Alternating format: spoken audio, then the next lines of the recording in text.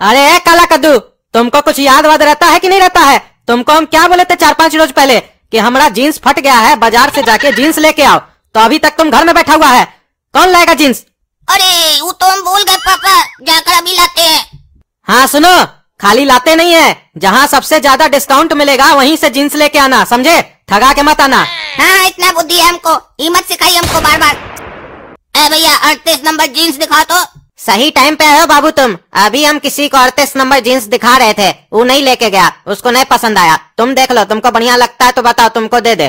कितना पड़ेगा इसका? पूरा पूरी पाँच सौ रूपया लगेगा इसका। कुछ कम नहीं होगा। डिस्काउंट नहीं दीजिएगा। अरे हमारे यहाँ फिक्स रेट है। जो दाम बोल दिए उसी दाम पे लेना पड़ेगा। बार्गेनिंग मत करो हमारे यहाँ। ठीक है आते हम बाज़ार से और भी जगह देखकर। हाँ जाओ जाओ। मुँह उठा के आ जाते हो। पाँच सौ रूपया का जीन्स लेने का औकात तो है नहीं। हमारा शोरूम में चढ़ गए। ज़्यादा बकवास मत करो। हमारा औकात बहुत कुछ लेने का है। तुम्हारा पाँच सौ का जीन्स क्या है जी? एक कस्टमर का अधिकार होता है बार्गेनिंग करना। तुम लोग जो ये हर चीज़ में फिक्स रेट लिख देते हो क्या सोचते हो? कस्टमर बार्गेनिंग नहीं करेगा। सारा मुनाफा तुमको देकर जाएगा। हमको बुड़बक समझ के रखे हो जाहिल आदमी। अरे अब तो तुम हमारा दुकान पे चढ़ना भी मत। निकलो हमारा दुकान से। हाँ तो घटिया आदमी का औलाद। अब तुम्हारा दुकान पर कभी भी हम पैर नहीं रखेंगे। लेकिन जब तुम रात में शटर बंद करके जाएगा ना तो तुम्हारा दोनों ताला पर मूत कर जाएँगे हम। साले पे आकर तुम खोलना अपना ताला अपने हाथ से। अरे ज़्यादा मत बोलो। नहीं तो हमारा दुकान में जितना भी आदमी है ना सब तुम्हारे ऊपर अभी पेशाब करेगा। निकलो हमारा दुकान से। हाँ हाँ जा रहे हैं। तुमसे डर नहीं रहे समझा?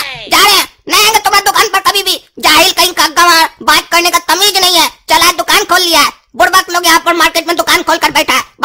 बात करने का कस्टमर से। ए भैया अड़तीस नंबर जीन्स होगा। हाँ हाँ होगा। लेकिन इतना चिल्ला कर क्यों बोल रहे हो? आराम से बोलो आराम से बोलो। आराम करने के लिए कोई बिस्तर नहीं है कि आराम से बैठे यहाँ पर। दुकान है जल्दी हमको जाना है। बताइए है कि नहीं? हाँ हाँ है। अड़तीस नंबर होगा ना?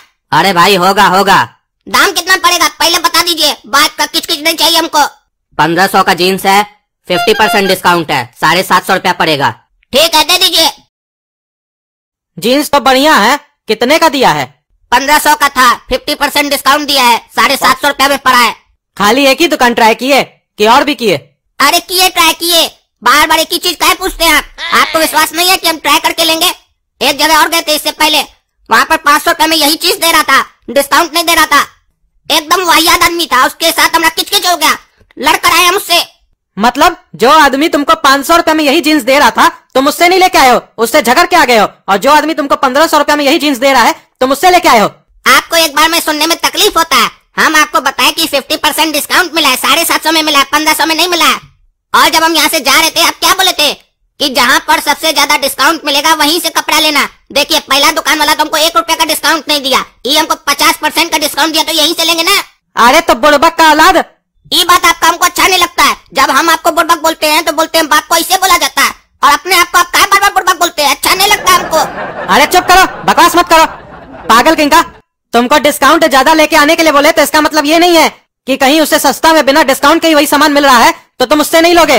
अपना भी दिमाग इस्तेमाल किया करो। सॉरी सॉरी तुम्हारे पास तो दिमाग ही नहीं है, गधा कहीं का, काला कलूठा कहीं का। बेकार है तुमको स्कूल में पढ़ाते हैं, नाम कटवा देंगे तुम्हारा स्कूल से। और दुकान में स्टाफ का ज़रूरत है, तुम ही को रखेंगे।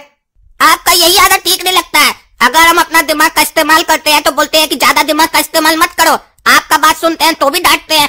आप पहले फिक्स कर लीजिए कि आपको हमको डांटना है तो कब डांटना है, कितना डांटना है, कैसे डांटना है, किस बात पर डांटना है, आपको तो पता ही नहीं चलता। हर बात पर आप हमको डांट देते हैं। अरे अब तो साला तुमको डांटेंगे नहीं तुम्हारा चमड़ी उतारेंगे। काहे कि तुम बातों का भूत नहीं है, लातों का भूत है।